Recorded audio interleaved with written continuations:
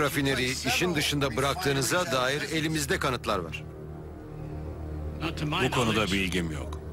Standart Oil'in diğer endüstrilerden daha karlı oluşuna ne diyorsunuz acaba? Bunu öğrenmek istiyorum. Biz US Çelik'ten daha fazla kazanmıyoruz. US Çelik'e dava açıldığını duymadım. Rockefeller şirketini kurtarmak için savaşırken JP Morgan çelik tekelini yönetimin hedefi listesinden kurtarmayı başarmış gibiydi. Banker olarak sahip olduğu güç ve nüfusu ülke için yaptığı anlaşmalarla perçinlenmişti. US Çelik ülkenin altyapısı için büyük katkıda bulunmuştu. Ama Morgan'ın en büyük anlaşması Orta Amerika'da gerçekleşecekti. Yıllarca Atlantik'i Pasifik Okyanusu'na bağlayacak bir kanalın inşası için girişimlerde bulunulmuştu.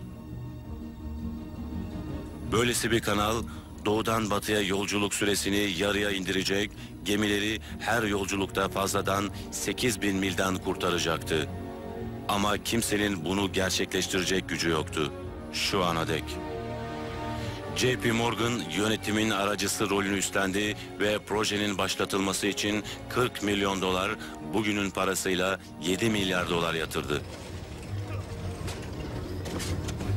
Panama kanalı Birleşik Devletler'in girişeceği en büyük inşaat projesi olacaktı. 75 binden fazla işçi zalim, sıcak ve ölümcül hastalıklarla mücadele etti. Atlantik'ten Pasifik'e 75 kilometrelik bir kanal açılıyordu.